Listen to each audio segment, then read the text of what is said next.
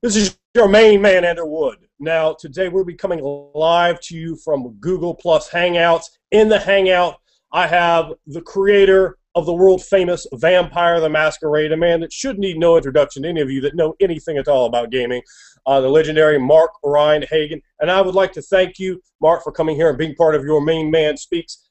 Today, we're going to start off talking about something that's very interesting, something that maybe not all of you have heard about just yet, but you need to, and you need to check it out. And what we're going to start with is we're going to be talking about Succubus the Reborn, the newest game from Make Believe Games, Mark Rein-Hagen's company. That's right, he's still putting out material that's as fresh and innovative as Vampire the Masquerade was.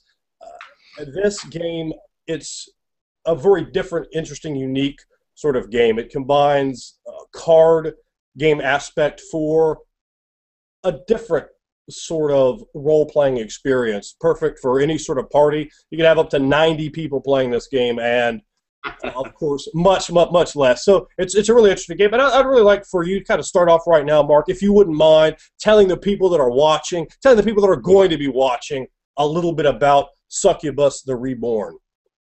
Well, um, you know, uh, I really like uh, love role playing, and uh, uh, but one thing about role playing, which I think has kind of hurt it over the years, is, kind of uh, hard to get into. You know, uh, there's a lot of rules to learn. There's a lot of sort of sort of stuff about it that some people find a little strange, and and it's just um, you know the the people who get into it deeply love all the rules and stuff, but but if you want to get someone new into it, they're pretty much frightened when you show them your stack of books, right? Yeah. I mean, I'm sure everyone's had that experience. Someone walks into your library or office, you go, and you, and you show them your line of books, and they're like, oh my God, to read all that? You're like, no, no, no, no. You don't have to read all of it. I'll, I'll, help you. And they're like, no, thanks. I'm not doing this. And so it's always been in the back of my mind, like, how do you introduce role playing? And uh, as part of my uh, work here in Georgia, I was helping uh, run a local TV station, uh, and uh, we did a mafia TV show. And I don't know if everyone's familiar with mafia, or it's also known as werewolf, but it's a it's a game invented in the Soviet Union, and everyone loves this game in Georgia. Um, there's a play a wink version where you don't close your eyes, and they play groups of like 30, 40 people playing mafia. It's amazing, and everyone's shouting and screaming, and I just love this game.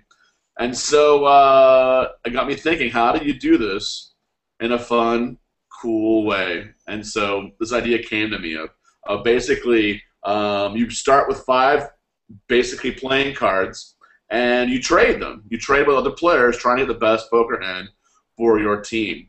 Uh, and uh, basically, this is one way. This is one card game where you know royal flushes are not that rare. We've even seen games, big games, where there have been two royal flushes, and you have to go to the second hand of cards. Anyway, it's just a really fun, fast, easy to learn game. Um, you have a captain's table. There's three acts, and it's just a way to. Um, I don't know. I, I can't really. It's hard to describe the game because I, I don't think there's anything like it. It's it's it's like you know, it's like you know explaining role playing game to someone who's never role played before. It's kind of hard, right? you kind of got to do it. Uh, I think Succubus is a little bit like that, but but it's definitely designed to sort of uh, help convince people to play a game because you know someone comes to your house, you have a party, you put five cards in their hand, and you say, "This is your team. Try and get a good poker hand. Trade cards." Uh, it's, it's pretty easy to learn, you know. For all those of you who would like to get involved in this game, the Kickstarter is up right now. I put the link yesterday on my Facebook page. Once this interview is done, I'm going to put the link below for those of you who are watching it. And, you know, the days to come, make sure you keep getting on there. The Kickstarter will be up for a while. You want to support this game, support uh, this revolutionary idea in such a simplistic form. Just a small window to get so many more people in to think about the fact you're at a party it's not a stressful environment they don't need to read lots of rules and it's just role playing it's just getting there and it's to various levels various degrees of comfort and it's about having that that fun experience. It's not about you know those huge sets of rules and so forth so i think yeah, if they want to role play they can role play but we uh one of our last play tests we had uh, so half the crowd was into role playing the other half of the crowd was completely not interested in role playing. But but they both groups interacted anyway, and uh, you know, uh, uh, and had a lot of fun doing it. You know, sort of. Uh, there's a lot of conniving. There's a lot of human psychology. There's a lot of uh, guesswork. Um, the cards have uh, hidden symbols of hammer, paper, scissors, bomb on them. So when you challenge someone, if they don't want to do a trade, you can challenge them and force them to do a trade. And so you got to win the hammer, paper, scissors, bomb. Oh, yeah, well, that's that. So that's a it's a little complication. Yeah, and that's not something that's particularly difficult to learn. So then, like you're saying, you got half the group role playing, and half the group they maybe they don't know about role playing. So maybe not Yeah. all those people come over, but you probably are going to get a few people go, "Oh, what were you guys doing?" That added the game, that made the game better, made the game more fun. Let me let me learn more about this, and then you know you have already started the gateway, which is you know Yep. cool. Yeah. And this is also a strange game in that because it's all about trading and challenging and working as a team, uh, it's actually better with more people. You know, eight people works great. Two people in a team, no problem. But once you get up to like 12 or, or 16, then then it really starts humming. It, it, it, and uh, when you get the more uh, larger groups, it's just so insanely chaotic in a fun way. You know, for, uh, 40 people all yelling and screaming at the same time. It, it's, it's pretty cool. Now I have seen the face card of Mark Rein-Hagen, and from my understanding, there's a way that the fans of RPGs, the fans of this product, can get involved and even get uh, their own face cards made. Is that correct? Uh, sorry, my wife is completely distracting me. She Sure. wants to do this. I, I was I was Please saying close the door, please. I was saying that I have remembered you showed me the face card of yourself, um, and I believe Oh, you yeah, mentioned yeah. too people could get their own face cards made uh, as, if they make part of. Here's here's Kickstarter. my wife actually, and yeah, you can get your own face cards made, and uh, um, you know, become immortalized or your characters, which I think is a lot of fun. Uh, have your character immortalized. It's uh, it's actually fairly cheap for this quality of art um, to have something done, and uh, you- get an art print and a, a full set of the game um, for like 500 bucks. So I think I think it's a pretty good deal actually, and it's selling out fast. So fortunately, you're right now. If you're listening to this, you're still able to get involved with that, and that's something you're not going to want to wait on for too much time. The Kickstarter started yesterday, so you're going to want to uh, get moving on that as quickly as possible. Now, Mark, I also would like to ask you: uh, is, there- is there anything else that, well, before we move on, anything else about Succubus: The Reborn that you'd like to share with the people that you'd like to give the people a tease of before we move on to our next topic here?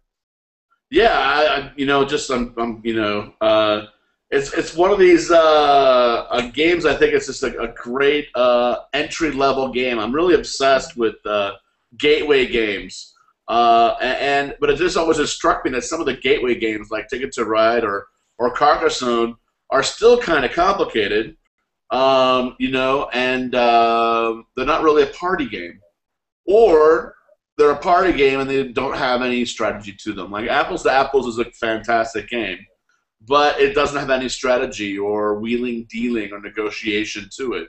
And so for me, it's it's uh, it's kind of flat. I get bored of it pretty quickly. And so my obsession is with these games, just like my Democracy board game, which is playable up to 15 players. I'm really obsessed with these massively multiplayer board games or par- uh, party games where you can have all these different people together and there's strategy, where where uh, you know it's actually a real game. So so minimalist rules. Literally, uh, you know, no one has to know the rules except the one person who's playing the dealer, and they just read aloud key sections that are highlighted, and that's it. People, it's so simple to play, yet with, there's so much negotiation and strategy that it appeals to me, who's the hardcore gamer. And then you add in, of course, the fact that I'm a hardcore role player. I get to role play as well as be do strategy, you know, and that for me is is, is awesome.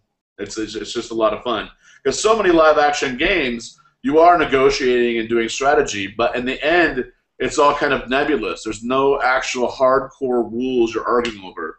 You're kind of just sort of role playing it out and kind of it's give and take. But in this game, you're actually negotiating over cards. You know, you're saying, I want that Joker card, and I will give you this and this. I will do this for you. I'll trade you this. I'll go help you with that guy. I'll do this. You know, uh, it's it's a real thing, and uh, and for me, that's what makes a game is when is when uh, me wheeling and dealing and uh, and all that sort of feels real. I love that. I think that really sets you up thematically well, Mark, with the types of creatures that you're dealing with with the vampires, with the infernal sort of theme you have to this game, the underlying of that you said wheeling and dealing, that trading and attempting to, like you said, force people to make the trades to acquire what you need, and I, I think that that is very thematically appropriate to, to what you've put together here. Now, before we move on, let me ask you the reborn. Can you uh, expound upon why it is the reborn? There's always uh, such a, a, tell in the games you put together before in that uh, last part of the title. Yeah, I mean, I always uh, try to do that. It kind of has just become a brand name idea in itself, but just something that people see a title with a colon in it. They kind of know it's got something to do with me. Yeah. But uh, it all began because I think it's a very simple way to explain a game and yet still have some sort of unique word as well. Like when Vampire came out, I decided let's call it Vampire the cover. I don't want to call it some The Long Night or or you know The Endless Night because then they don't really know what that is. You know, let's call it Vampire. And it's funny because a lot of the TV shows that are successful, like Vampire Diaries, do the same thing. They take the same idea. And so the Vampire the Masquerade, I thought, really summed up the game very, very well. It's a game of vampires, but what's almost as important as the vampires is the fact that they are hiding among us. You know, there's a secret society. So Succubus, the reborn, the idea of reborn, of course, is that, first of all, it's me coming back to something I love, vampires, you know? So it's, it's me being reborn, but it's also sort of the name they call themselves. Uh, in in this world. You know, they they, they consider themselves uh, succubi, but uh, they, they call themselves we are the reborn because when you know uh, when when some another vampire turns you into a vampire, they believe that you are reborn in that moment. So it's part of the setting as well. You know, I think that that really works well to sum it up very quickly, getting getting people into that idea and sort of transferring that idea of succubus, which in themselves in the gaming industry are often thought of in a spiritual context as uh, devils or demons and this sort of spiritual malignant entity, but in fact, really, mythologically speaking, they are a Middle Eastern sort of vampire. Uh, so using that and recasting it a little bit while keeping true to the original idea, you come at it from a slightly different slant, which I always think ideas like that sort of um, re-mythologizing or taking from the, the source material as opposed to the gaming canon of other games can really be provocative and is a great way to uh, to design to game design to, to, give you something interesting to work with. Yeah, and I'm, I'm not trying to take anything away from White Wolf or uh, or Mind's Eye Theater. In fact, I want this to be a way to recruit new people into the whole live action world. Mm-hmm. Uh, you know, I just I didn't have a license to World of Darkness. I sold uh, White Wolf, so this is just sort of a you know a little mini uh, group. You know, uh, I, I, almost think of it as like a third group. You have the Camarilla Sabbat, and then you have the Reborn, you know, Succubi, the Succubus. So. Um, you know, but basically, I, I, think this game could be easily used by people who are playing Mind's Eye Theater. Uh, which is being relaunched. Uh, very exciting. Uh, and uh, I think that whole live action world is going to be coming back to life in a big way. Well, Mark, I think you've just said something there that is a great selling point for anyone else there that is that big vampire fan. And we know we have such an enormous, I can tell you from, from my channel, some of the other channels here that deal with, I guess, what you call now retro world of darkness. There's an enormous following of people who still love and play those games. And when you you bring in you just basically you basically just said hey you could just slant this right in there and have another faction import it into your into your game there and use these these ideas as a, a launch pad for additional creativity a new window and vehicle into uh, rejuvenating a vampire the masquerade uh, game in a new slant so i think that's absolutely wonderful a reason just by itself to buy the product outside of the fact you can do an entirely different style of game with it. So I think everyone out there, you need to think about that. Now, uh, moving on, Mark, I know there's another project that's, uh, I've heard the whispers on the wind. Uh, we've we've uh, discussed, and I'd like just to give a teaser, just to give just a snippet to get the people uh, uh, tantalized by the idea of what is lurking around in that nugget of yours that we're going to be seeing soon enough. Well, um, I have a new modern horror game coming out, a role playing game, which I think is going to be pretty fabulous. It's going to be a completely uh, new take on a very old idea uh, and a very popular idea, um, and very much horror, and very much you play the role. I, I can't go too much into it, but, but just like Vampire at its time was kind of shocking because you were the vampire, not hunting the vampire. You were playing the vampire. This is another case of a monster which no one has really thought of as you are this creature, and in this game you will be the creature. So, so and it's a, and because it's so new, it's uh, it's actually quite a brand new concept in how the society works, how they live, and uh, it's completely different from the world of darkness. It's much more science fiction but uh, I think it's going to be. Uh, I don't know. I'm super excited. It's uh, it's been a whole lot of fun to work on. Yeah, absolutely. And Mark has shared some with me about what this is about, so I can tell you uh, without overstepping that you guys, when, when you see it, you're going to go, "Oh yeah, it makes complete sense. It flows. It's natural, but it, it's it's something that's come at from a normal direction and then it's flipped. He's taken it and he's flipped around what, what you would be expecting here in, a way, but still presenting the, the other material as well. So I think it's going to really grab people. And I know those of you that love Vampire the Masquerade. Those of you that love the original World of Darkness, from what I've heard here, uh, this sounds like it's going to be an absolute A plus winner. And of course, Mark, when that's coming out, we'd love to have you back to talk more about that. I think it's going to be absolutely fantastic, a fantastic idea for what I've said, and I'm, I'm much looking forward to getting involved with that game myself. So, uh, you know, thank you for for sharing that. Now, let's start from the beginning. We've we've gotten the very uh, the very current and even the future of what you're doing, Mark. But let's rewind time and go all the way back to when you were just a little guy, Mark, and you started out in RPGs. Oh, what, what was your, your first experience in RPGs? How did you come into it? How were you um, brought into it at what age? And what was it that you first experienced? Um, Wow. Uh, yeah, I guess um, my father was a Lutheran minister, and uh, every year they'd have an intern uh, come to, to town. Uh, you know, a young pastor learning how to be a pastor. My father was always the mentor every year, and, uh, and this intern was uh, around, and um, basically he said to my dad and I after Sunday lunch. Have you ever heard of a game called Dungeons and Dragons? And and I'd already been playing quite a bit of Acquire and uh, and war games with my dad. I must have been like 14, 13. And he described it to me, and I'm like, oh yeah, I I I, do, I totally want to play that. You know, I just read The Hobbit, all that, uh, Lord of the Rings, and so uh, we sat down and we did um, a dungeon. My dad was a dwarf cleric. I was uh, uh, an elven fighter, and uh, it was fantastic. I started showing up to this guy's apartment, asking him questions, you know, how to build my character, da da da da. And then he left, and uh, and I had to find a new group. And so, uh, fortunately, we geeks have radar, you know.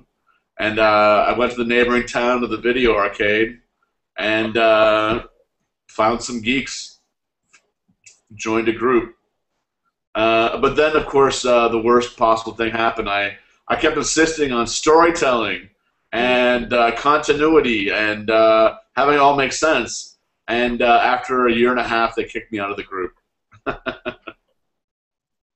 so, yeah, I was kicked out of the group because I, I want to go a little bit differently. Absolutely, and I think a lot of us who enjoy the immersive style like we do, uh, I'm sure have had those problems before with not quite finding the, the right group of people uh, to get involved with. Yeah, and it's hard you live in the country. You know, I, I wasn't a city boy. I was a lived far out in the country in a little small town. It's, it's, it's tough, you know. But then I went to Australia and I became sort of the game master for a bunch of surfer dudes, and uh, and that's sort of where it sort of blew up. And then I went on to college, where I happened to meet Lisa Stevens, who owns Paizo Press and does uh, Pathfinder game. Uh, Jonathan Tweet, who redid uh, you know Dungeons and Dragons, the first big new edition Dungeons and Dragons after Wizards bought it, and uh, uh, John Nephew, who owns Atlas Games, and uh, they're in college. It's kind of a you know a who's who of gaming. We were all there together, and uh, um, and we basically all end up starting a bunch of different companies, including uh, you know among them was the Coast, White Wolf, Atlas. Yeah. You know. That's uh, that's just bizarre, really, and a lot of a lot of different eras, different uh, creative ventures I know have, have started like that. But having that sort of a roster sheet in one university at one time is uh, was just odd. It's very, very, very odd. So I mean, that's very cool to have had that, that sort of group to play off of, and I'm sure the exchanges and ideas were were very uh, interesting, very plentiful uh, in an idea like that. So uh, you've, you've, jumped here. Let's let's talk about how you first uh, became a producer of RPGs. Now, if I'm if I'm correct, Ars Magica was the first game that you worked on. Is that correct? Yeah. Well, we did have a product called Whimsy Cards, Mhm. which were these little cards that you could play. Um, and the game master would give you one or two, and you could play them during the the game. You know, uh, and it was just a, a story interruption card. And it was kind of our first experiment in kind of you know how do you let players get involved in the story a little bit. And then we moved on to Ars Magica, which uh, you know was uh, very popular critically speaking, but uh, never quite had sales. Although now I believe it's in its fifth printing and is uh, still in print. So uh, that's pretty good. There's lots of games that are not still in print. So, so I'm quite proud of Ars Magica. It, it's not as um, it's showing its age a little bit, but I think it's still a, a pretty fantastic concept.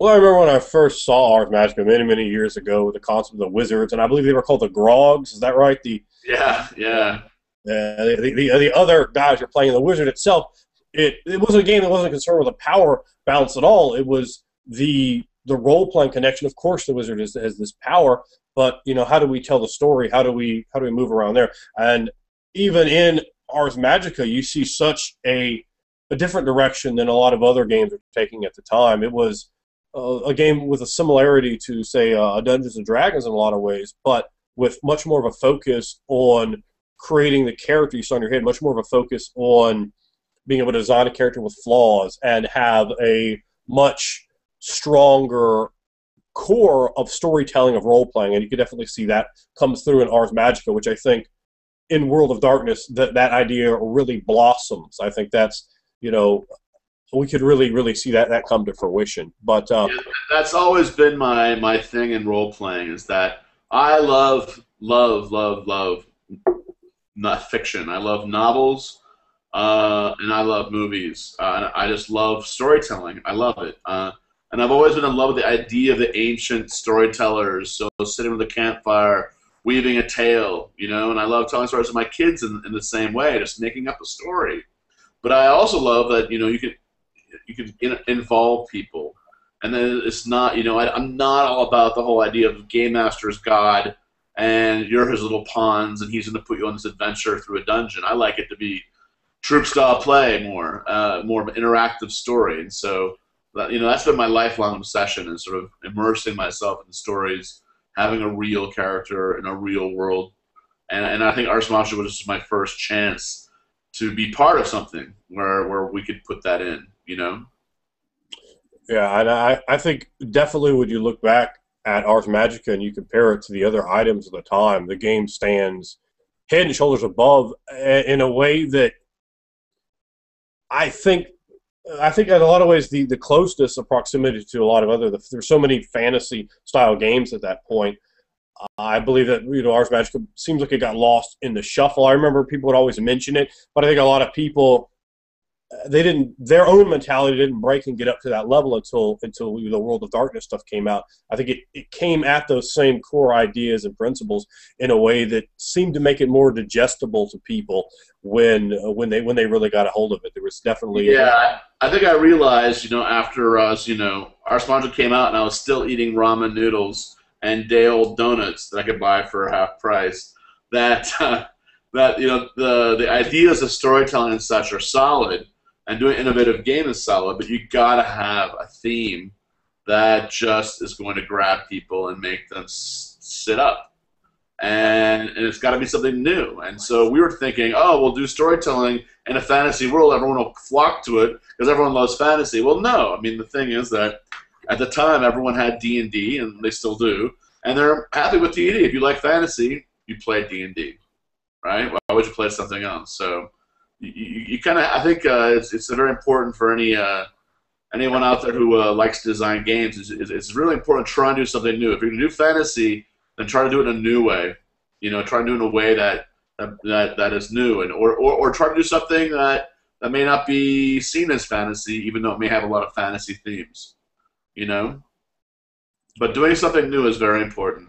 Absolutely, you definitely need uh, a hook and a gimmick to, to bring it in, and then uh, you definitely found it with a vampire. I, I, can remember, I believe Vampire came out in '91. Is that correct? Yep. Because uh, I, I remember when those books came out in the shelves, and people just went, and I could see that that creep into any other game people were playing, whether they were playing Star Wars or Risk or D and D. That role playing just started creeping up to a higher degree and a higher level. And then from opening the Vampire book at the first time, I went, "Whoa!"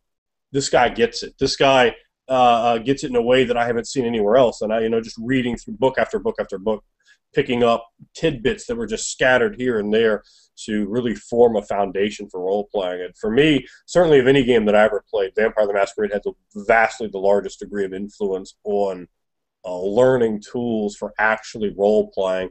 And uh, you know, and I've told you that before. I think Vampire the Masquerade to this day is still the best role playing game that's ever been made and and uh, let's bring it in and talk about Vampire the Masquerade. We're other than having the gimmick to produce a storytelling element, what are the seeds that created Vampire the Masquerade? Why was it vampire right off the bat? Why was it that instead of something else? What what brought all of that together? Vampires in the real world behind the hidden uh, idea of this masquerade and so forth. Let's talk about the genesis of this.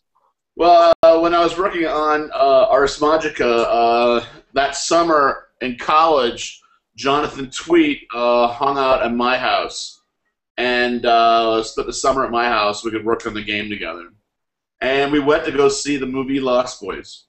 Mm-hmm. And uh, and after the movie, we're just so excited. We just had such a good time. You know, there's nothing like going to a movie in your early 20s. You haven't seen that many yet. the, new summer movie is still like the huge thing. It's just so great, and we're just so enthused. And I just remember Jonathan saying, "Man, I just love vampires. I wish you could do a game of vampires, but it'll get so boring to always be hunting vampires." And I and I said, "You know what? There's got to be a way. There's a way to do it. There's a way to do it." And uh, and when I say that, I get very stubborn, and I tend to think about the idea over and over and over again. So anyway, I was eating day old donuts, uh, very very poor, living living incredibly cheap in this group house in Atlanta, Georgia. We had moved down there. Uh, Jonathan had left already, but I was with uh, um, Stewart Wieck and Lisa Stevens, and uh, just in this big dump of a house. And on our way, and I just was like desperate to come up with a new idea for a game that would be popular. And uh, on the, I just kept telling everyone, just you know, once I figure it out, I need need you know six months, six months. Just leave me alone. I'll write it. I'll do it. Uh, you know, but just when I have the idea, I'm gonna have the idea. And on the way to Gen Con, which was in Milwaukee at the time, it just came to me. Boom. And uh, within, I'd say 20 minutes, I had a pretty good idea what it was going to be about. You know, a mafia idea of vampires and secret society with these different clans all fighting for control of the world from the shadows. Uh, and then at Gen Con that year, I didn't have a whole lot of fun. I just mainly worked on the game, you know, day in, day out. And then I went back to Atlanta, and the next nine months was basically me locked in a room. It was intense. but, you know, it's like there's moments like that you kind of realize, you know, unconsciously I've been preparing for this day, you know? and and the good thing is I didn't really know a lot about vampires. I'd read Anne Rice uh, after I came with the idea, of course, uh, and so I read her. and I started watching vampire movies, but honestly, I hadn't. I didn't know a lot about vampires. I, I didn't, but but over that nine months, I I fell in love with vampires. That's for sure. Well, it's very interesting to hear that the. Uh, I guess maybe the original genesis of the idea comes from Lost Boys. Uh, certainly, really a movie that everyone out there, I know some younger people that may actually have never seen that movie or you definitely want to check that one out. A really just very, very, very interesting movie. And uh, in terms of the vampire. Funny thing is, is on the way to LA to my first meeting with uh, the Spelling to do the TV show. Oh, yeah, this, my, this is my first meeting to do the TV show. And so my girlfriend and I are driving down Highway 1 to go to LA because we've just already been to San Francisco to see some friends at uh, at Chaosium. So um, we're in Santa Cruz, and I'm out at the boardwalk, uh, and I'm looking down this uh, bridge, and I'm looking at the boardwalk. I'm looking at the roller coaster, looking at the bridge, and I realize the bridge in Lost Boys where they hang off of it and then drop down into the mist. And the bridge is actually only like 20 feet off the ground. But I was just like amazed. I was like walking around and like going, yeah, they filmed Lost Boys here. My girlfriend hadn't seen it. She had no idea what I was talking about. But I'm like, they filmed Lost Boys here. It's a sign. It's a sign. We're doing a TV show. I'm telling you, it's a sign. I was very excited. Yeah, very cool. Yeah, that, that, that definitely all kind of plays back and together. Well, since you brought it up, I have a bunch of questions I was going to bring up later about that, but let's go into it right now. Why not? How was what was it like to work with Aaron Spelling? I guess that's really the beginning question for. I mean, he, he had a big house, um, and uh, yeah. Here's the thing: advice I always give people is in Hollywood they don't need contracts. If they're bigger, than we never signed a contract until after the show was in production. And I was actually banned from the set for a while, off and on, not just once, a couple different times, because I wouldn't sign the contract. Because I said, I'm not going to sign it. They're like, okay, you're banned. I go, you cannot do this. You cannot go ahead and do this without a, without a contract. This is illegal. And they're like, sue us.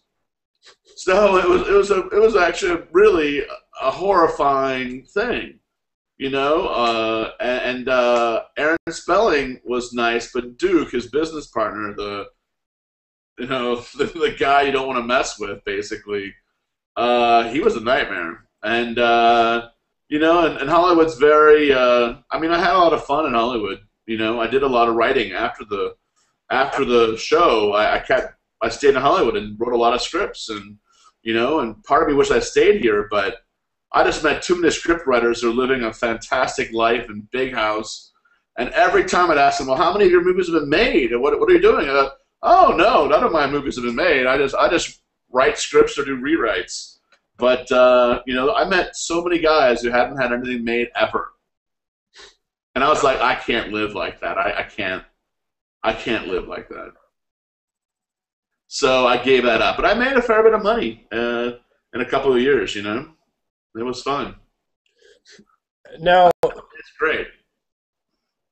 Give us some of your impressions about Kindred: The Embrace. It was very controversial in the for those that I knew in the vampire uh, playing community at the time. It presented a very uh, uh, limited, sort of dumbed down version of what, what you'd envisioned. You had only five clans, and of course later the Assamites uh, came in. You were there were no Malkavians or Tremere within within the city. The uh, they had what I think a ten year old character that was trying to a ten year a vampire that's been around for about ten years was attempted to be part of uh, like uh, the Primogen, and there were a lot of ideas that didn't that didn't fit with that in, in terms of disciplines and so forth. Yeah, they, they hired a guy who, you know, in classic Hollywood fashion, you know, you want everyone wants to put their own stamp on something so they can claim credit if it succeeds, but keep enough of the old so that if it fails, they can blame that. And so, you know, this guy who was famous for writing the blue and the gray, um, you know, kind of took me in his house. I pretty much lived with him for several months as we worked on this project.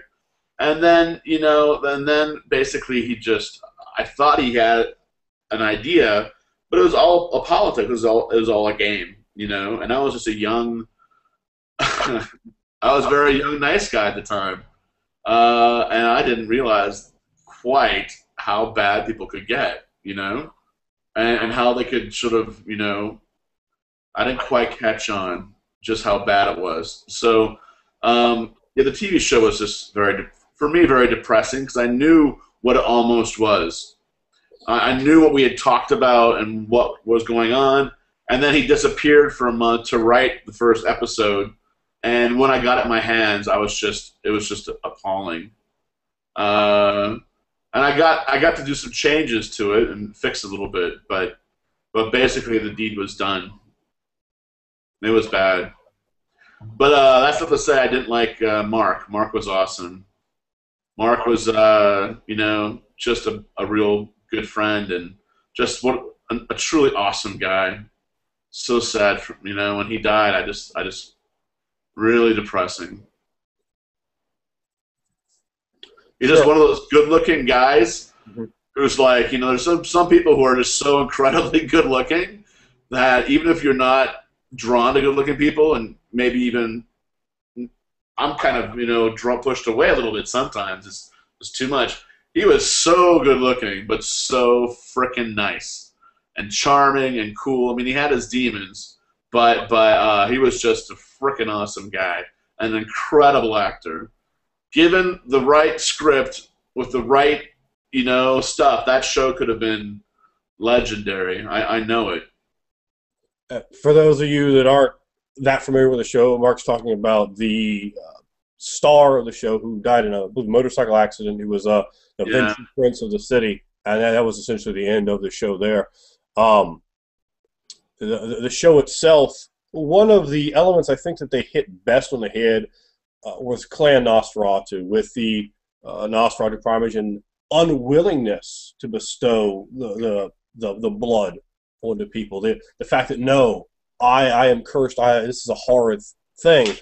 Having that, that sort of sadness. I think of all the clans, uh, that one was really hit well. The, scene where all the, all the Nosferatu descend and just start tearing that guy apart uh, from the shadows, that really came off well. I've seen each of the episodes maybe four or five times.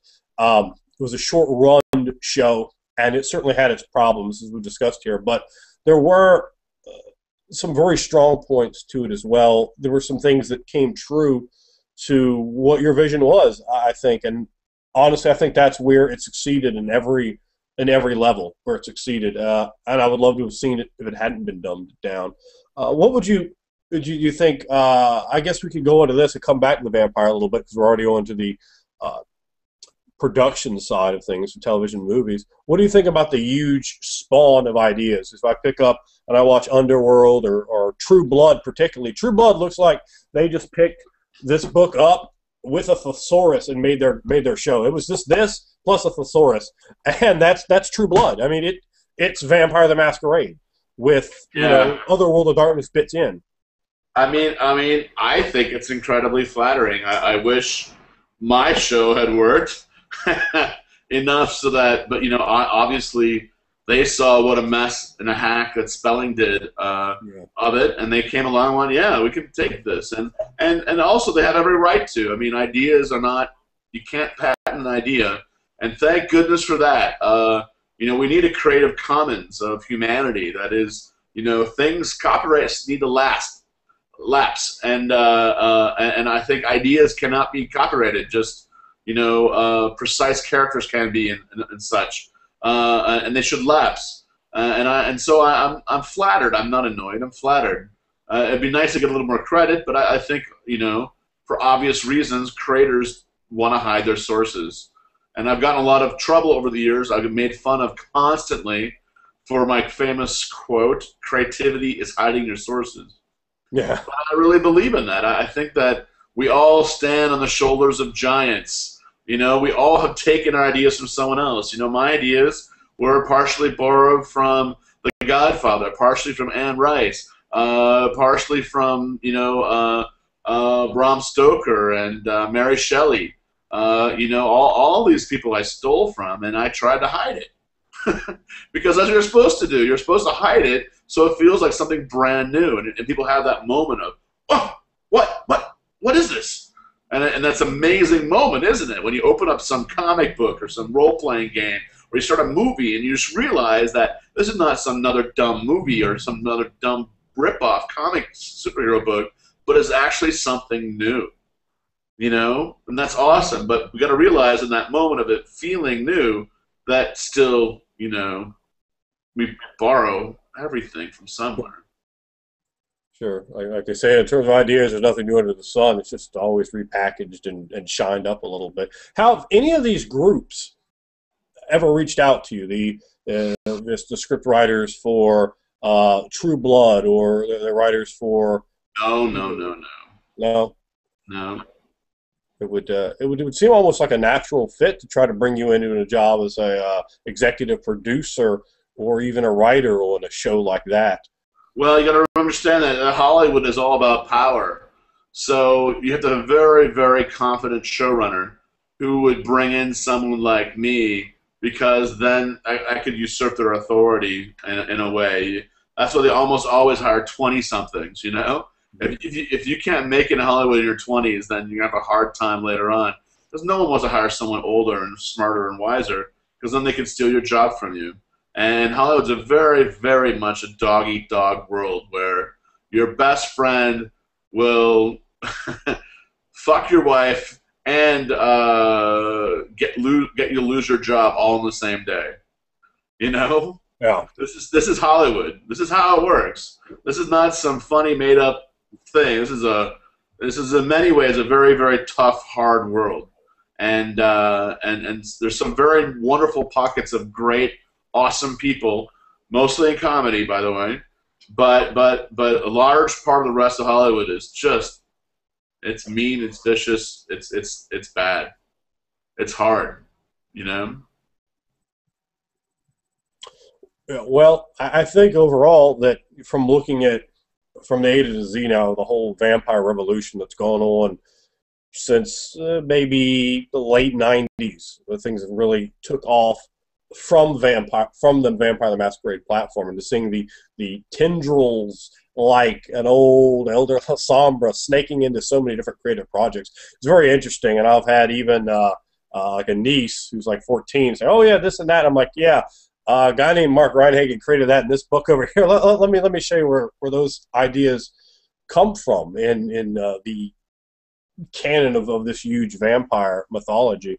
Uh, so, Ab, it is very very interesting that you've had such a uh, incredible influence there. I mean, really, uh, Vampire the Masquerade is like a seminal work on the uh, sort of the encyclopedia for for vampires in, in a lot of ways. Of course, you know you'll see bits in this movie or that movie that has more of an original idea. But I mean, particularly like if you look at True Blood, which is uh, or Underworld, you know, both extremely clearly influenced. It's uh, yeah, I, it is amazing to me, like to just sort of see, oh, they got clans. You know, oh, they've got you know these uh, this this war going on. Okay, oh, okay. They hate werewolves. Oh, okay. Yeah. wow. That's okay. So far, uh, I think I'm pretty sure I made up all these. yeah, uh, okay. the authority is the best one, and uh, in True Blood they have something called the authority, which is very clearly the Camarilla, just down to a T. Uh, yeah. I thought I went, whoa, okay. Uh, I, I, see where all that comes from. But let's let's uh, rewind now a little bit. We've kind of jumped ahead where I was going to go with speaking about. Oh well, we're, we're already there. I, I got to bring this one up, and of course you all know why a certain other group came to you and licensed from White Wolf a particular uh, clan for uh, a certain individual named David Heath, and David Heath took on the role not as the Vampire Warrior, but as Gangrel, they pronounced it as, for the WWF at the time. It was so freaking awesome. Yeah, tell me about how all that went apart. Who who contacted you, or or who had contacted someone in your company? How did that whole thing come about? Because you know we're gonna talk about wrestling here, baby. If you have a you know, oh, you know, I was actually pretty busy with the Hollywood stuff at the time, so I didn't have a lot to directly do with this. But I, I think this was a uh, Mike Tinney was pretty big on this thing, and uh, Chris McDonough, and it was just like a, one of these incredible opportunities and. Uh, I mean, oh my god, I I I screamed myself silly the first time I saw him. was just so great. Uh, you know, uh, and I just sort of wish I could have gone further, but but it's just you know one of those really fun things that happened. You know, how how great is that? It's absolutely amazing. I remember seeing that, of course, as a wrestling fan and as someone that very well knew Vampire the Masquerade, and I knew the wrestler David Heath before that with the Vampire Warrior gimmick, the Lestat gimmick he did, and then coming out with the with the with the frilly uh, 19th century shirt on, with the chalice of blood, with the glasses, the blonde hair, rising from the stage with that incredibly uh, sort of gothicy metal-like music he had, with the throbbing heartbeat pace, and it was Gangrel. I, I, that completely, you know, was a was a shocker to me. Obviously, I was uh, fully involved with, with that character, that storyline, uh, right from the video. Um, but no, I, I, say I'm not completely sure about this, and I'm really pretty sure that he actually they didn't realize that Gangrel was belonged to us, and he used the name oh. uh, on the stage, and then of course we to them going, "Hey, we own that name," but we want you to keep using it because we think it's awesome. We're big fans. We'll give you a really good deal. Yada yada yada. But of course, you know, as soon as they realized they didn't own the name, then they were less interested in in working with it. So. I can remember even seeing that back in a video game, like in the in the titles, copyright White Wolf, Gangrel, right there in in, in the titles with, with all the other stuff. And you don't really I mean, that's really a rarity to see something like that. Just wrestling does not, WWE does not like to uh, push forward things that they don't own. Oh, absolutely not. Absolutely not. It's just one of those uh, weird things. You know, he was pretty popular for a while, but it was pretty cool to watch wrestling and have him announce Gangrel, and I'm like, hey, I made that up. I made up that word. And it's on national TV. I made up that word. It was yeah. like a character coming to life.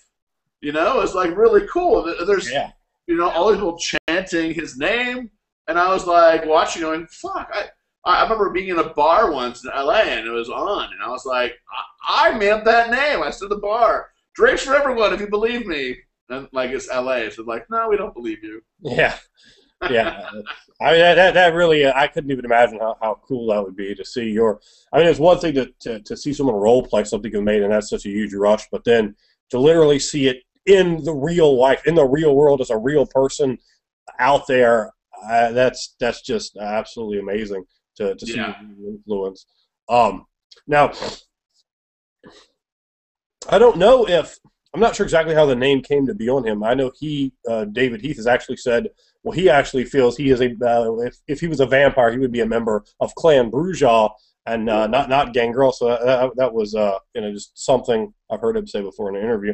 Now, going back because we've we've talked about all the media and so forth. I know most people, I know most of you out there in YouTube land want to hear about this. This Vampire Masquerade, the red rose, the green text, the the elegance and the simplicity. Even there, you could see from all its iterations, it pretty much always looked the same. Let's talk about it at the beginning of Vampire the Masquerade. There's certain aspects that have almost uh, a numerology quality to them. Was the number 13 intended in that significance? Because we see that occur so often uh, throughout the entire World of Darkness line. 13 appears over and over and over again. Is that intentional? Uh, absolutely. 7 and 13.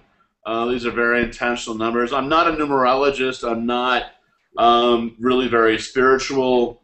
Uh, you know, I'm not a spiritualist or, you know, um, but uh, I do think that human psychology, that numbers are very, very important. and and, and you know, uh, in Chinese culture, the number four has a very profound, you know, significance. Uh, and uh, but in Western culture, you know, what are our important words? Three, seven, nine, and thirteen. Those are our big numbers. So I use them over and over again. You'll see the number three over and over again in the world of darkness, and, and that kind of uh, uh, I'm not sure if that ever has been revealed, but the, sort of the mythic structure of the world of darkness is all based on this, this Trinity idea of, of, what's the base of it. And of course, the world of darkness is all based on the idea that uh, that what you believe in is the truth. And so, if you have a strong enough willpower, or enough people to agree with you to believe in something, that will change the fabric of reality itself, which is, of course, the whole idea behind Wraith, is that, you know, you have these, if you, if you can break away, enough people agree with you, you can break away and form a nice little realm we can live in, you know, your own little paradise. But, but, but really for the main reality as well, this is true. This is, this is what, you know, the mages do, is they sort of are able to have a strong enough will, they can sort of break this consensus and do what they want. And so, uh, you know, the numbers are very sort of important in that because well, people believe in numbers, then numbers are important. And uh, and I, I, just see people react to numbers so profoundly. I mean, I mean, there's still buildings that don't have a a 13th floor. You know? Yeah. That's, that's crazy. I mean, that's crazy. But there are many buildings don't have a 13th floor. Uh, it's you know so so that's why I worked it in is is that I you know you as a as a writer, as an, as a designer, you give me any tool to affect people's emotions, and I will use it to bash them over the head. You know, and, and role playing games, unlike board games or computer games, you know, you can really you have so many things you can throw at them. You know, the art, the words, a little twist of how this rule works, and, and so I think you really you know, the whole idea in role playing game is to sort of really immerse the players in the world and give them a lot to think about, or because we're gamers, a lot to argue about. yes, I have uh, the countless World of Darkness arguments I've heard, but the fact that you have a, a, a smoothness and a less reliance on system as opposed to role playing, I think, uh, can even even that kind of help help minimize that that sort of uh, horror there. It's it's a game that's uh, a bit more difficult to to rules lawyer in, and for that I think it it doesn't attract a certain type of player that is at home or in a, a different type of game that, quite honestly, I think works for you and that an advantage. Now, you, you brought up really quickly, uh, sort of a segment into Wraith the Oblivion into Mage of the Ascension. Now, you talked about the idea of what I think is dictatoriality, and we definitely see that in those games, and a little bit in Werewolf, but we don't really see that in Vampire.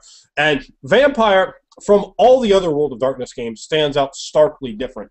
There is, particularly in the early incarnations, a very heavy Judeo-Christian. There is God, there is right, there is uh, this aspect of Cain and this dissension that it has a higher um, a mythology, a history that's so deep, uh, deeply entrenched and so evocative, uh, going back, you know, biblically and uh, bringing in some other mythologies and so forth. That it, uh, to me, it it really it, it seems the least like the other World of Darkness games. Really, overall, it has, uh, and there's a lot of reasons we could go into that, but it has a very special, distinctive flair to it. In the fact that vampires overall really aren't tuned in to what's happening. You know, they're they're I mean your mages are way up here. They know what's going on, but your vampires are are disconnected from that, and that in itself makes them so much more human, so much more part of uh, that first sort of layer of the world of darkness, which I think makes them easier for people to understand and relate to. Yeah, I mean, if I had to really do it all over again, I would not make them so overwhelmingly powerful, but you know, our market research showed that that's what people wanted to do. They wanted to be their wizard to be reality benders. But I, I, I think, you know, and of course, the one problem with role playing game series is that you always have the equivalent of what is called mission creep in the Pentagon. That is, you know, the deeper you get in your mission, the more broad your mission becomes. Well, in gaming, what happens is that as you go along, players want more and more powers. Yeah and then the game company gives it to them, and then it just sort of spirals out of control and becomes not human anymore. It becomes it becomes so removed from a, a regular player's experience and so difficult to run for a storyteller that's kind of ruined. And, and, and, even worse, and what's by far worse about this mission creeping in gaming is that later gamers coming along and are like, oh my god, this is so complicated. I don't understand it. I don't want to be part of this. Whereas if it was just still the original book and that's it, then they'd be much more likely to get involved. Which is why with the game I'm coming out with this summer, it's going to be very, very clear that all you need is two things. You know, these cards and this book, and you're done. You know? Just make it simple. Keep it really simple. Uh, I love that. But uh, at the same time, I mean, Mage is, uh, you know, people love Mage because they can, you know, they can argue about the nature of reality, and you know, it's a it's a game by philosophers for philosophy students, you know, and I think a lot of gamers have a little bit of the philosopher in them, you know, um, arguing about the nature of reality. Yeah, I'm definitely a, a, very big fan of Mage. I played in a Mage game that lasted for about seven years with the same character. Uh, and I just logged a tremendous amount of hours. The longest I've ever played any game was Mage the Ascension. Wow, um, seven years. I think my channel here has more videos on Mage the Ascension than any other channel on YouTube. Uh, and I continuously get to get loads of questions about Mage the Ascension, and, and certainly uh, it was just an absolutely fascinating game. But dealing with vampire, you originally introduced seven clans. Now, even back then, you, you kind of allude to other things. Were what, what, was it kind of a, a, wrestling around in your head with which seven to put in? I think I'm guessing you had at least some good concepts of some of the other, which became the 13 clans. I would, I'm guessing that some of those could have been interjected into 13 in your ideas, or can, can you kind of walk through how those the, that that particular seven evolved, and if any of those other seven that that or any of the other uh, uh six, I mean, could have been been slot? Was it like? Uh... Yeah, other people who were involved in the company were really pushing me because I had post-it notes all over my wall. If you came into my office back when, which is, and by the way, back then my office is also my bedroom. So it gives you some idea of how hard I was working. But my wall was completely covered in paper, and I would categorize groupings. You know, arrogant, and I'd move it from next to uh, elite, and I move it over to outcast. You know, or I just sort of rearrange the the groupings of adjectives and play with it. Um, but it fairly quickly, within like two months, you know, and I knew the clans were the core of the game. No. I mean, it was very, very obvious that, and, and I was very proud of the idea that I had that uh, these clans were political. They were, weren't just a character class. Um, they were political, and in fact, they're they're much more political than our para character class. Character class wise, all they do is give you discipline. You know, they don't do very much.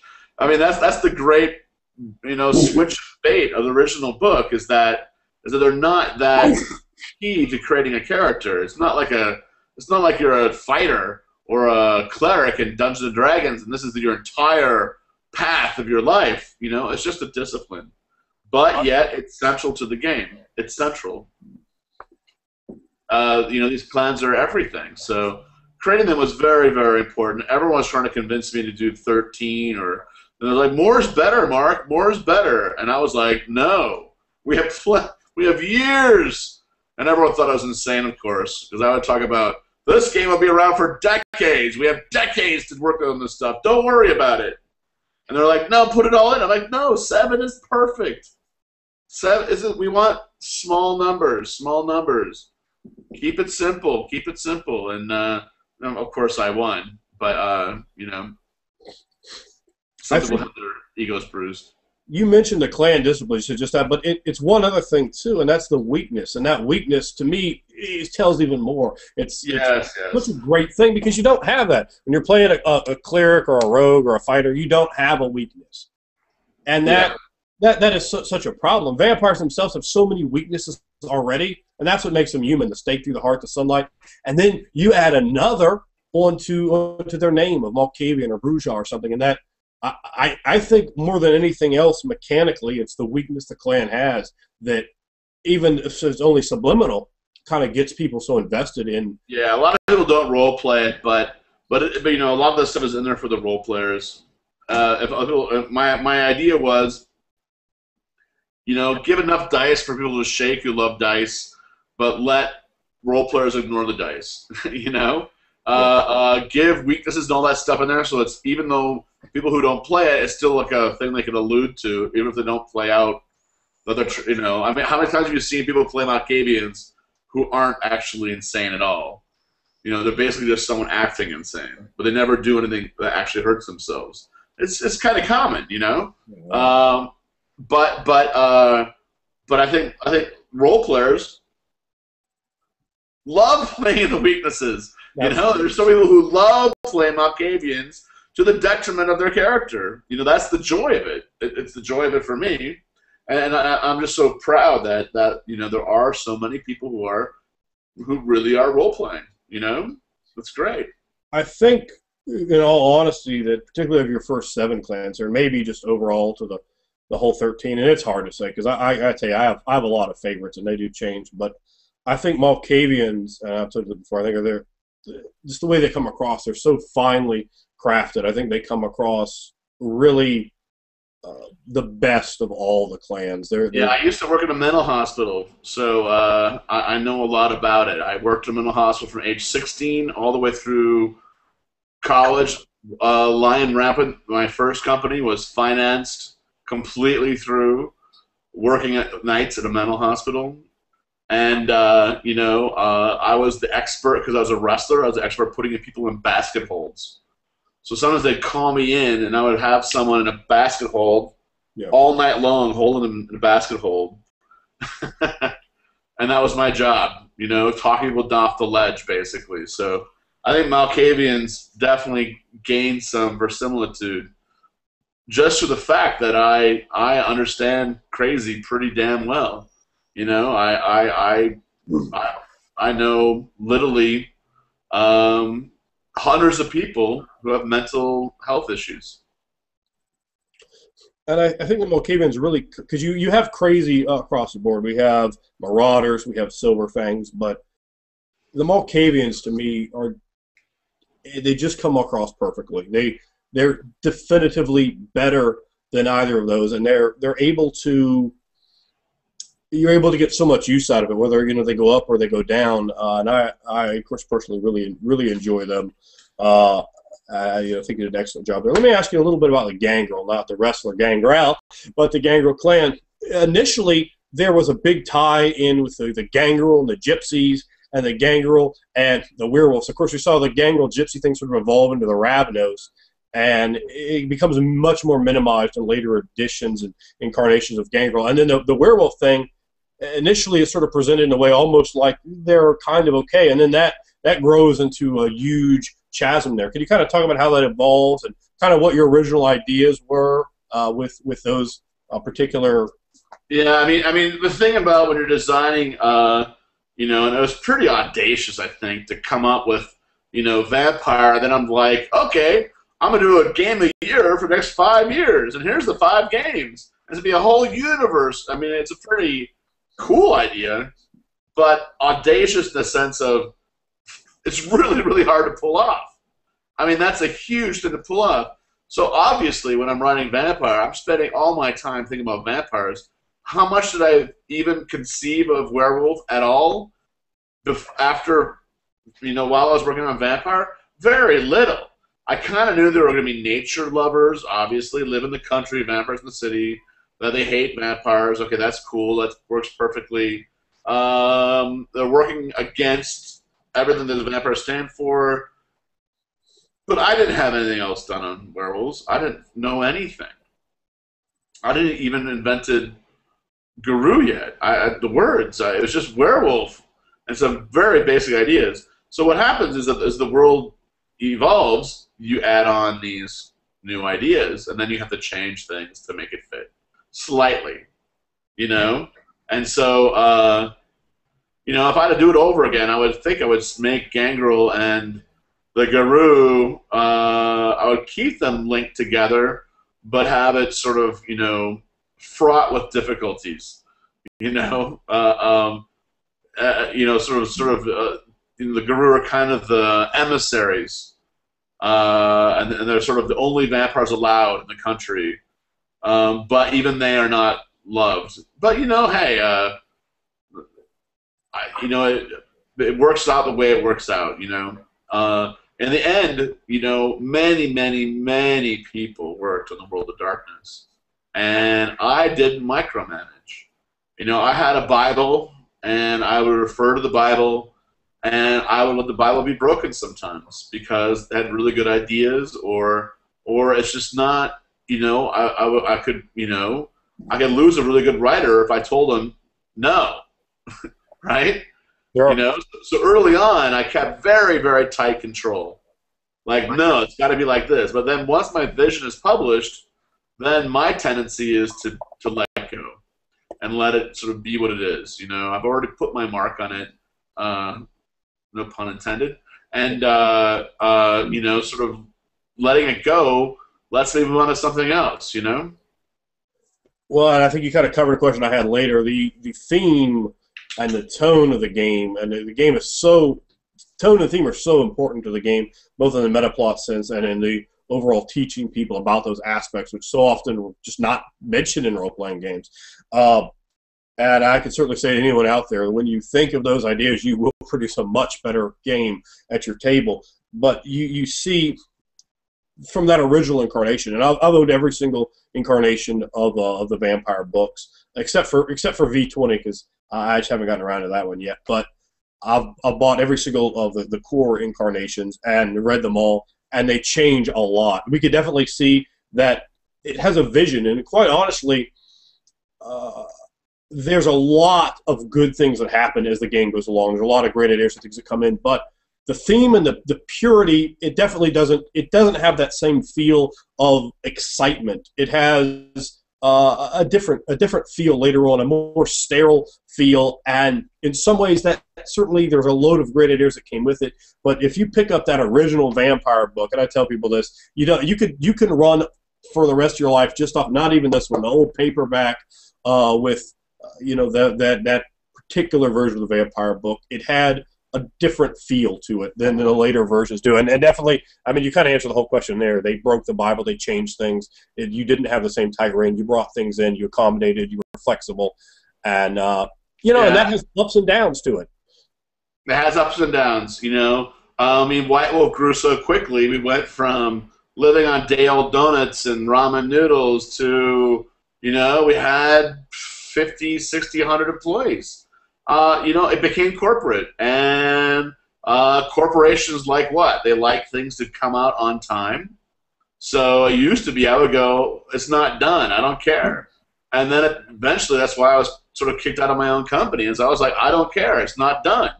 You, you can't come with a new game. And so they kind of said, screw you. We're going to do our own game. And it was horrible. you know, I was, I was doing this whole exile science fiction game and I was like, it's just not done. It's not good enough. It's it's better to wait. And, and they basically sort of put me out to pasture. And uh, you know, that's sort of uh, it's just one of those things that happens to corporations. You know. Since you bring that up, I know you sold your portion of the company. So that's basically was that basically the reason there were just too many internal problems.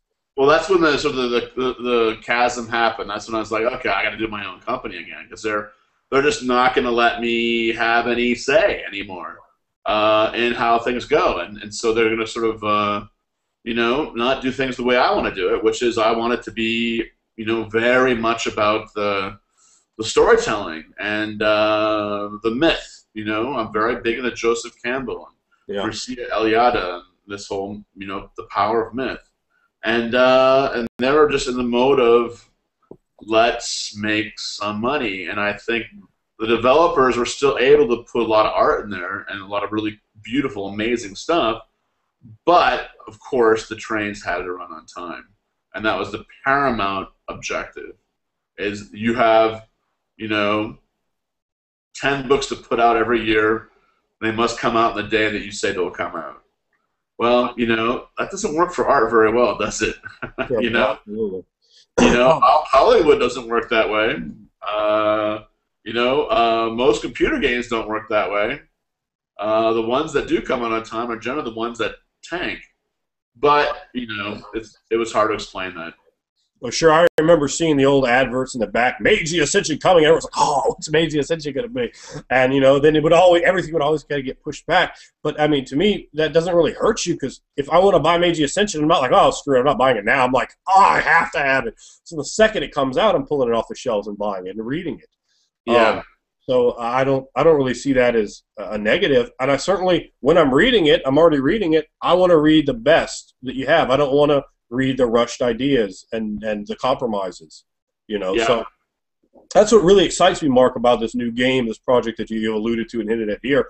Uh, the fact that it's not going to be, I'll be quite honest, and I love this this version of the game, but it is watered down uh, to a degree, as we've talked about here, to see the the pure, undistilled version of horror, of science fiction, and of role playing brought to, brought in a new idea that, that, that takes ideas and flips them in a way. I, I really. I think that Yeah. that's going to have a great tone. It's and I have and I have 20 years of experience now. In a way, it's it's it's it's interesting. 'cause I, I feel like I'm just as uh, you know uh, tuned in to pop culture. I, I think that's sort of one of my gifts is that you know uh, I really really love pop culture and I'm really aware of it. And I think I'm still very contemporary in the gaming thing. But I mean, there really is a deal that I didn't realize this when I was 20 years ago, but age does give you a wisdom. You know, you just Yep. know so much more. It's ju- it's ridiculous how much more you know, and I think I'm bringing that to that new game as well. So uh, you know, I'm not sure if the role playing people are there as much as they might have been before, but I'm pretty sure to the ones who are still there, they're going to be. Uh, it's going to be something new. It's going to be something brand new, and uh, and pretty much hopefully that exciting moment like the first time you open Vampire. So for the, the the the clans here, let me put you on the spot and say which which clan and which discipline did you think turned out? You like I, I, I always tell people that uh, I love all my children and I cannot choose among them. you know you can't choose among them? No, no. Let's say okay, Mark, you can't choose among your children, but which child brings home the highest report card grades? um, uh, well, uh, the Malkavians always bring a smile to my face, but the uh, Tremere obviously get the best report cards, and uh, and the the Ventrue are, are just always elected class president, uh, and uh, you know the the Brujah are always being sent home from school for violating this rule or that rule, but I always you know uh, I always you know let them go because they're just so darn cute.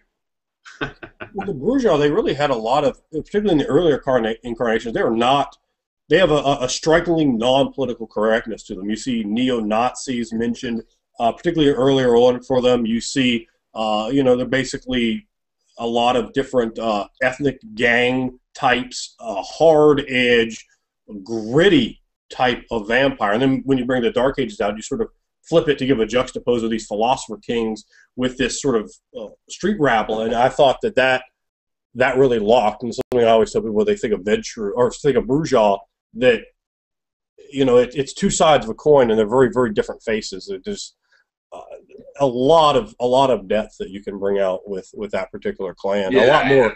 Once you get in the history of things, I think that's when you can bring out all that beautiful, lush poetry. But I, I like hardcore vampire stuff. You know, I think like the for me the Twilight sparkly vampire thing is is appalling, and and and, and for me, I, I really just love. Uh, I think vampires need to be hardcore. I mean, come on, they're drinking people's blood. They're killing people. They're murderers. They're sociopaths and psychopaths. They're they're lit, they are literally uh, serial killers. You know, I mean, this is what they're a special department of the mafia of the I mean of the FBI is set up to track down the most horrifying people, and yet somehow they're making vampires into this sort of romantic, beautiful thing. When I think they are, but I think in so doing you can't lose the sight, lose sight of the fact that they are They've forgotten what's behind the glove. The beauty is yeah, they're they're bad. you know, They're they're- bad.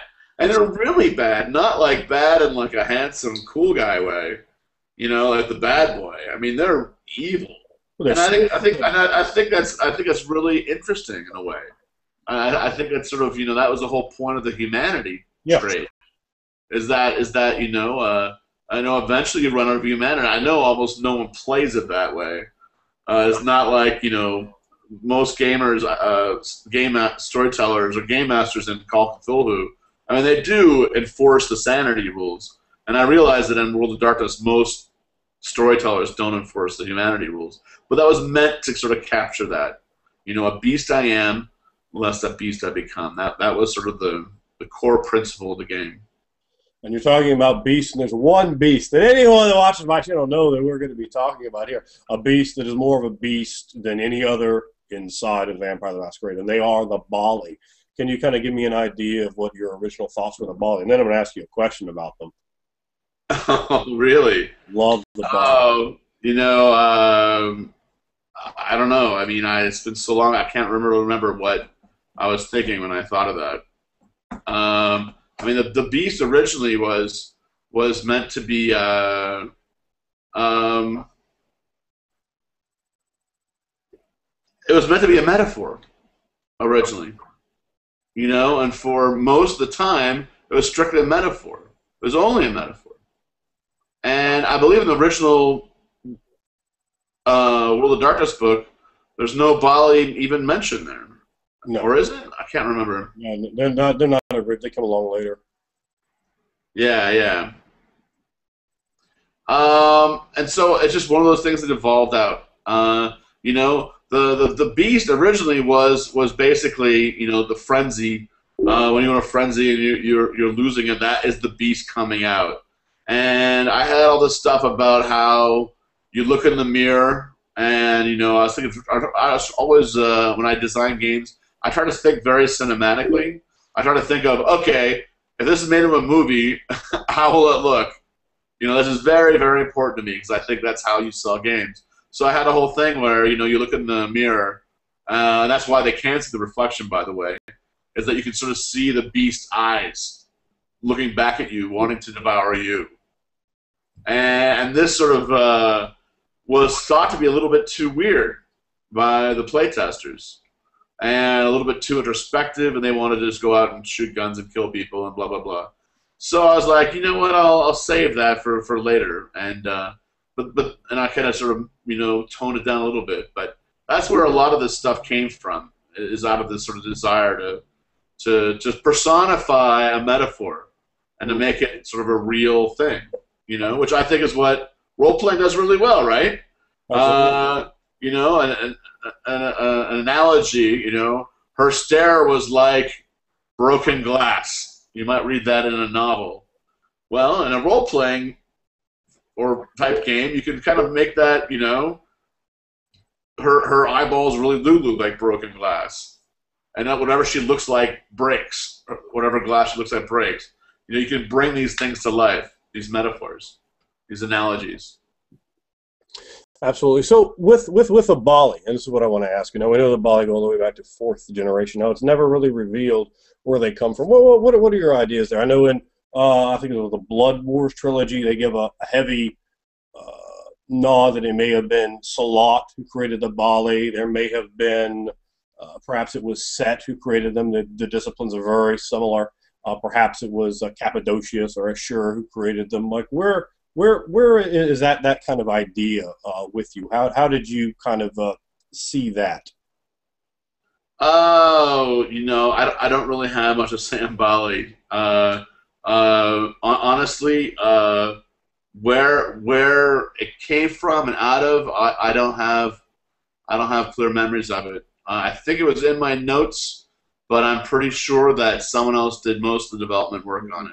Okay, fair fair enough. Just uh, something of interest there. Now we we saw from you. Uh, just just a ton of games. I mean, you know, like you said, you were trying to knock one out a year, and I, I don't know if it quite came out that quickly, but you were just knocking these games out. It was uh, shelves that originally just had Rifts and Dungeons and Dragons and maybe like a Call of Cthulhu book in the back. you know they just started giving away, and it was the vampire section, the werewolf section, the mage section, uh, so forth. And I think um, you know one of one of the books here that, that seemed very the hunters hunted.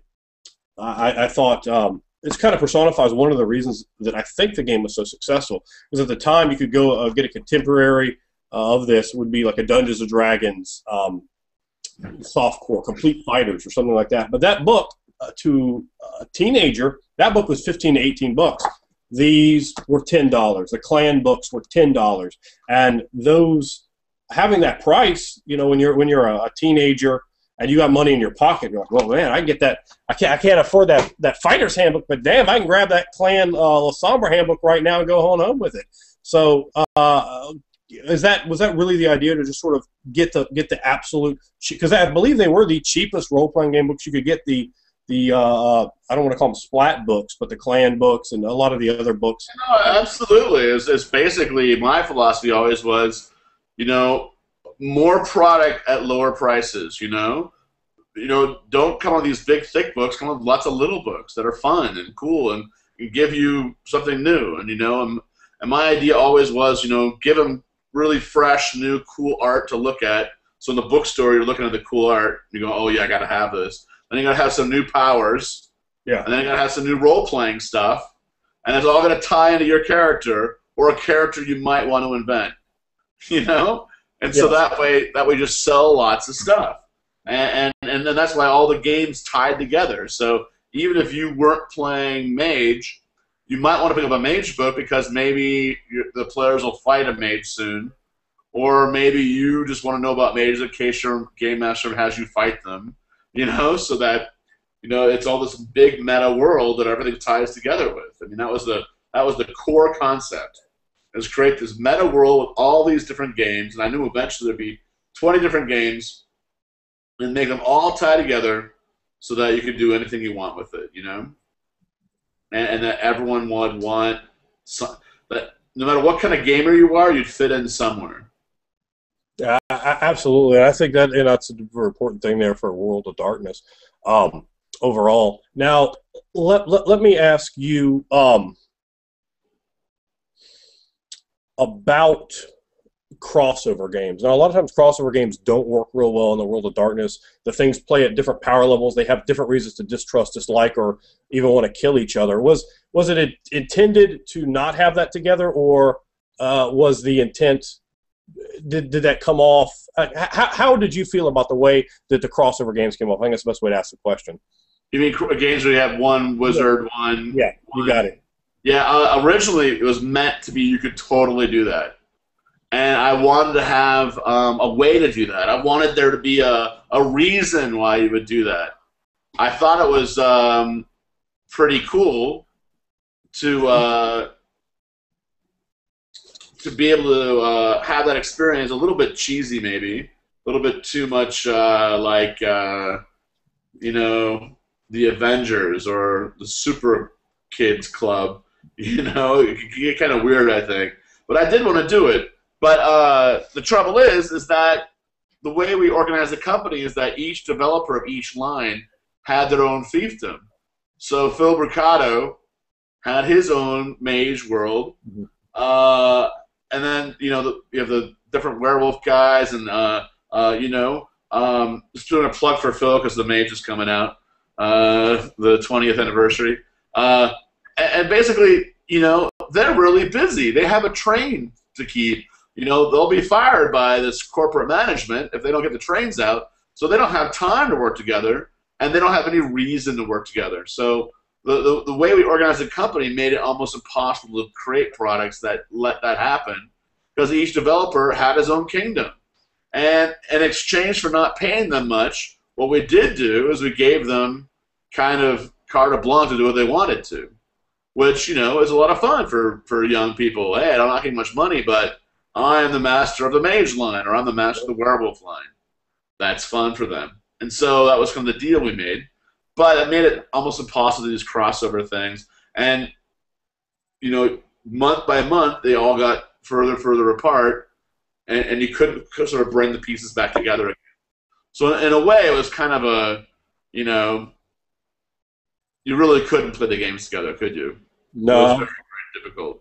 It's a question that I'm asking nearly constantly on my channel, and I think that basically, as you, as you say, is correct. What I tell people, you, you there's some very very specific cases that you could put things together, but it's almost more of a story. It's like okay, in this story, these things from these extremely delicate angles and it's look you got to make a character like this you got to make a character like this you got to make a character like this you, you ain't making what you want necessarily because that is going to go completely to hell uh, it's sometimes in some bits you could have some ways to make it work with time you know i certainly could put together a game that worked like that but the majority of the the absolute worst world darkness type games you're going to see are games where someone's going, oh bring whatever you want in and yeah you know, some guys playing the only way to make it work would be to tell an end of the world story and do it almost like Lord of the Rings.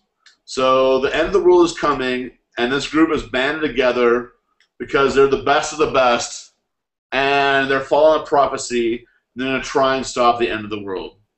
You know, it has to be something that be fighting something that's so huge and so big, and then you could maybe do a you know a couple year long gaming session because you know you're the only ones who can do it and it's a mythic legendary quest and and and you're brought together and you're given the support of your various teams and peoples because you're all fighting together you know the Wyrm or whatever the, the bad guys and somehow you know um, this section of the werewolves or this part of the of the vampires are banded together to do this that's the only way to do it and even then, the rules wouldn't really lend themselves to it, would they? Uh, no, no, not not not particularly. Uh, all right, could, could you tell us a little bit about why why was Werewolf number two? Why was that the first, the second thing you, you told me? Uh, because it was. Uh, I figured it would be the second most popular. It was a pure business decision. Also, uh, because I had made the werewolves and uh, vampires antagonistic, uh, I kind of was thinking at the time that oh, if I do werewolves, that'll give something for the vampires to fight. You know, I, at that point, I still hadn't. I was still worried that people wouldn't um, wouldn't roleplay. that they would play vampire like D and D, and they would want dungeons and things to fight and and combat and you know yeah. adventures and stuff. I didn't. I, I didn't really. I wasn't convinced yet that people would embrace this idea of of role playing a story and and doing politics and what have you. And uh, happily, I was uh, my my concerns were unfounded. People kind of never wanted to play vampire as a adventure type game. So in, in Werewolf, can you talk about how how you design the auspices and? Um, Yeah, I mean, we're also very interesting. Uh, was a very interesting process um, because I was exhausted. I was fried. I mean, I, I had no uh, energy left. I had just come a vampire. I'm trying to get the vampire supplements out. I'm trying to work on everything else. Uh, and um, and uh, and it was just very very tough. Uh, just just getting time to work on it was in, insanely difficult because I basically had no ability to do to really focus the way I did with Vampire. So I always felt like Werewolf was kind of off the cut. At the same time, I had an enormous team of people who were willing to help me. You know, I remember one meeting we had in the new office. There was like 30 people piled in the room. And I was a young guy at the time. I didn't realize that, you know, I needed two people. I needed three people. But I pulled in this group of people because I was hoping to find some people. But it was just a complete, oh, it was terrible. I, I mean, it was just so painful. But you know, I was really pushing. I was really um, focused because I wanted to make it sort of the. I wanted this to be my true expression of, um, you know, uh, Mircea Eliade and uh, the power of myth and my environmental feelings. And I just wanted to go all out.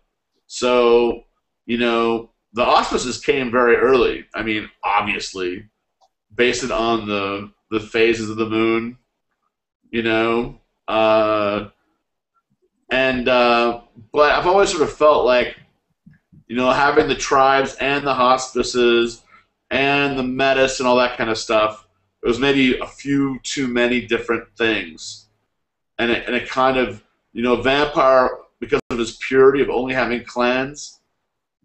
In a way, it has a better feel because you know a character is many many things, but if you say to someone, "Oh, I'm a Ventrue," they know who you are. And werewolf, you can't really say that, can you? No. There's no, there's no one thing that defines you, and in a way, that's more realistic, right? Yeah. I mean, that's that's more real life. But but it, it's harder. But it, but it's it, it's not as elegant as a game. If, if I could if I could redo Werewolf, I would edit it down. Now, Werewolf is largely a game that it seems almost like a, a hybrid of World of Darkness towards like a Dungeons and Dragons type game. You have the pack, you have the easy way to assemble all the characters, to point them at things, to reward them with you know treasures and so forth. It, was that was that kind of part of the design you, you were saying there earlier to to kind of bring a game that was more accessible to other people because you know Vampire is not an easy game to run. It takes a lot of talent and a lot of thought and a lot of preparation to be able to, to put together the political weave that you need for That Vampire. actually was the big fear of Vampire, by the way. Before we came out with it, that was the thing that I expressed to someone, uh, and then it kind of went around their little company like wildfire. Like, like what if this is the case? What if Vampire is the game that everyone wants to play, but no one can run? you know, like there's no one. And at that time, this whole storytelling thing was very basic. I mean, some people were playing troupe style play Ars Magica, but most people were not pl- doing story story things. I mean, you did have Call Cthulhu, but even that was very, very easy to run comparatively because you know you investigate. It's like a detective story, so you kind of steal a movie plot, a detective movie, and you kind of give them evidence, and they're pursuing it, and then they go crazy. You know, it's pretty set. Vampire, we were just terrified. There was no. Uh, people would be like, "What do we do? How do we run this? What's the story about?"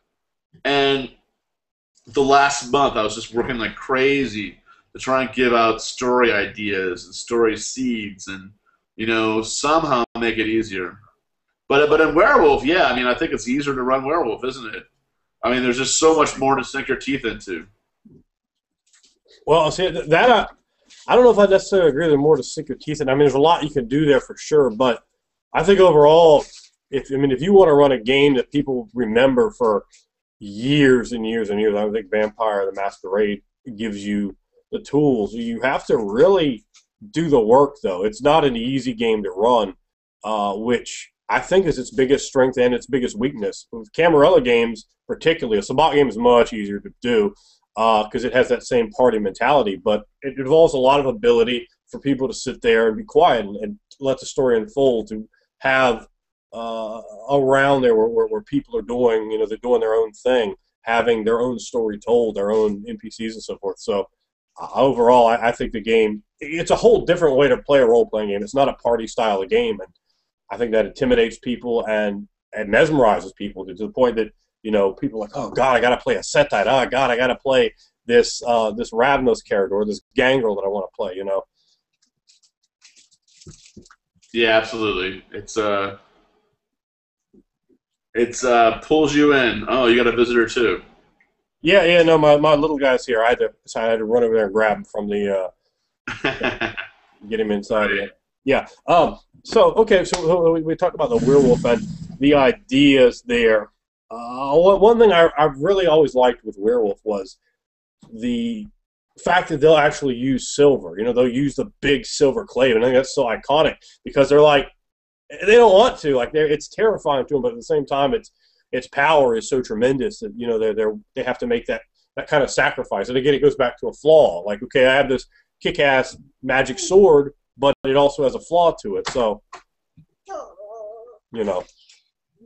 Yeah, I love that idea. I remember I actually don't think that was my idea, but I do remember hearing it and going, "Hell yeah, that's totally how it works."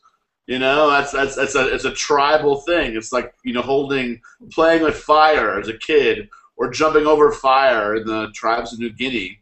You know, I mean, this is a big freaking deal. You know, and I yeah. totally wanted that whole mood in in uh, in um, in Werewolf. I was very obsessed at the time with with uh, uh, anthropology. You know, going to these uh, uh, Stone Age cultures in the Amazon or in the Philippines, and and what what what humans were like, you know, before the trappings of civilization tainted us forever.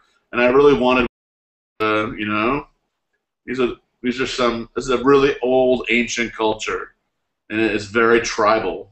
And uh, uh, you know, and I was also inspired by uh, RuneQuest. Uh, RuneQuest has this whole um, you know, the clans of packs and all this kind of stuff. I mean, RuneQuest really gets into the, the the clans and the tribes and the different spirits and, and you know a very Bronze Age feel. And uh, I totally wanted a Bronze Age feel to Werewolf. And I think sort of holding the silver knife up and being in pain, you know, that feels kind of you know.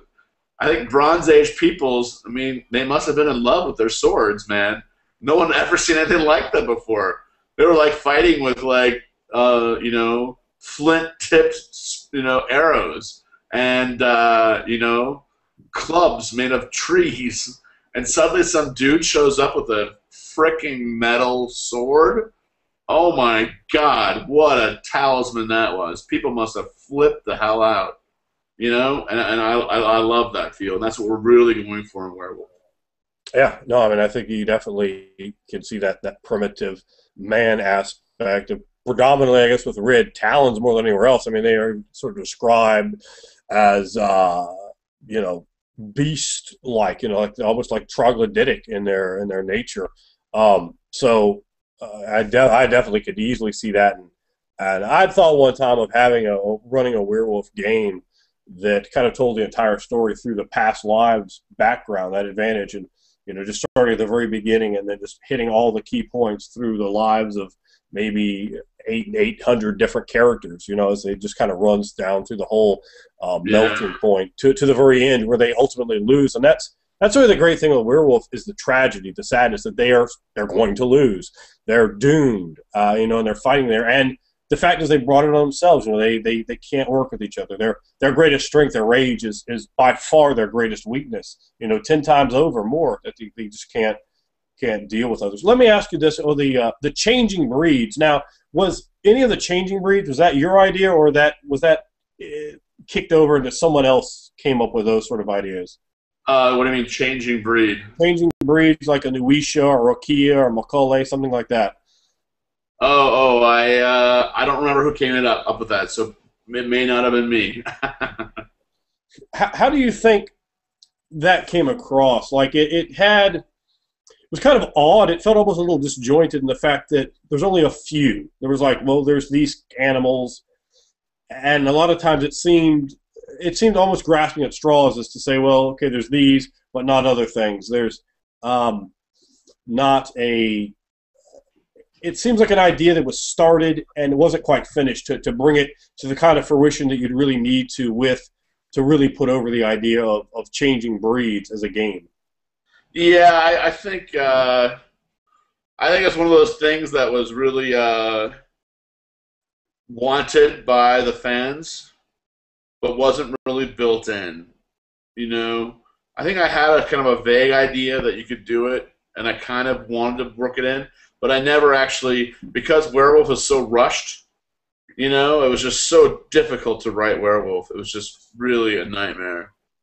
So, um, uh, it was just so busy. You know, we're riding this enormous wave of vampire, and like suddenly, oh, you got to write Werewolf. I mean, it was crazy. So, so it didn't have the advantage of, you know, having enough focus. So I, I think, you know, if I could redo it, I would re work the breeds in a little differently, you know. But but you know, role playing games are never perfect and they're never done. Oh, sure, sure. What about the? Uh, we talked about the elegant style of the vampire cover. The werewolf cover is very different. Now, the first print, it comes across very different than the second one with the big gouge, rin slash marks inside the cover on that second issue. Now, me when I when I saw that, went, "Whoa!" You know, I mean, it drew your eye from anything on the shelf if if the books were facing outwards, as one game star yeah. Or if your friend showed it to you, you'd be like, "What the hell?" yeah, no, I remember going to uh, Richard Thomas and going, uh, "This is what I want," and Richard, to his credit, to his eternal credit, was like, "Let me see if that's even possible." But that's cool. And everyone else is like, "That's crazy! That's crazy! You don't cut holes in a book." You know, people don't want holes in their book. You know, that's terrible. And I go, that's why we didn't do it with a soft paperback, because that would ruin their book and they'd hate it. You know, you know. But the hardback is perfect. I think, or we did do it the, the softback. I forget. It was the hardback you did it with. The softback had like little green lines. It was the same sort yeah, of design. Same idea, but yeah. But but I want to do the in the softback and get a plastic coating that was so tough that it wouldn't rip. Yeah. We couldn't do it, so we had to do the thing. So the hardback, I was like, Richard, I don't care what it costs. I need holes in it. And uh, he figured it out. Well, the great thing is the color artwork you have right behind it. That's what made it. Because you could see a little part of the color artwork, and then you're sucked in. You have to open up. You have to have a look. Yeah. yeah. I think the thing is that, that, you know, I really try to hire people who, like me, love the art of printing books you know and i just love printing. I love paper. I love the smell of paper. I love books. You know i have a huge library still even though now i'm reading almost everything on my ipad. Um, but i love books and, and i'm really sad they're kind of going away.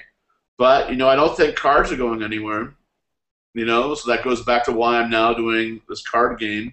And uh, and for the game this summer we're going to be using probably using uh, cards for characters, you know, because I, I, think not collectible, but but cards that you can basically pick out cards to sort of create a character from, uh, or at least a big part of your character.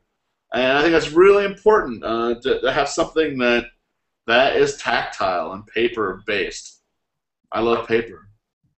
Well, I think that's a great point you brought up. They're not collectible cards because, Lord, that, that would be that would be, a, a horrible thing for, for a role playing game to, to, to bring about as it as it would just create such a huge sort of imbalance and it would just kind of feed into the wrong direction. But it would, it would, completely be a D and D kind of game, wouldn't it? You know, it'd be uh, uh, you know if if uh, you had to be rich to have a to have a Vorpal blade. Oh yeah. You know, yeah, yeah. Imagine would. that. You're like, oh boy, look at I got stuff for my character out of this this pack for three ninety nine.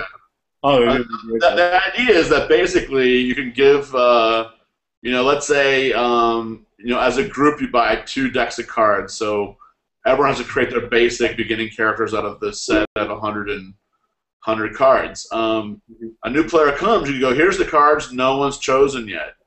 So pretty much you're guaranteed that your character is going to be completely different from all the characters because you know, and it's very very simple. You know, with the basic sets uh, the character points are all the same. They're all two point cards. So you just say pick ten cards, and that's your basic character.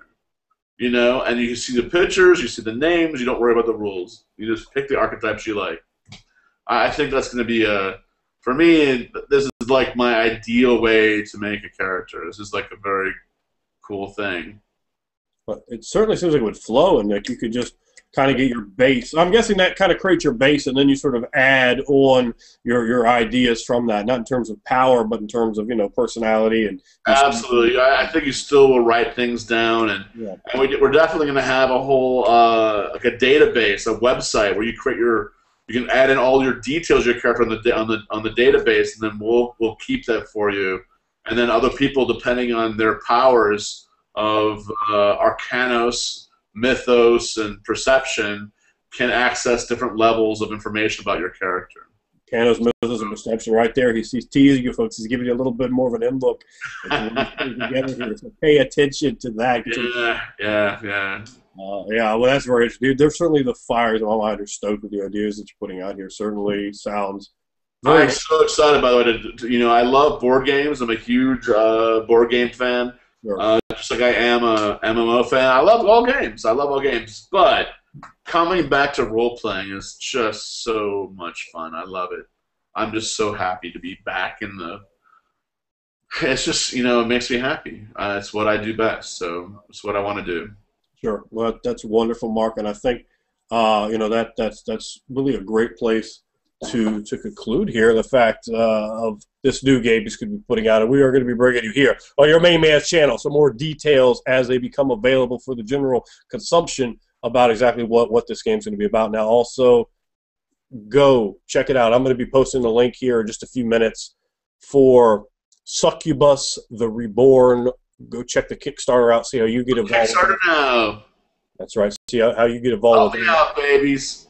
yeah, and um, make make uh, Mark make make it a lot easier for Mark to bring this next game to you. Fund this project, get it going, get it uh, really pop it up so that he's he's going to be able to continue to stay around. He's going to be able to uh, uh, really invest his time and energy in putting this next game out. That I'm sure each and every one of you out there is just chomping at the bit to get a hold My of. My kids got to eat.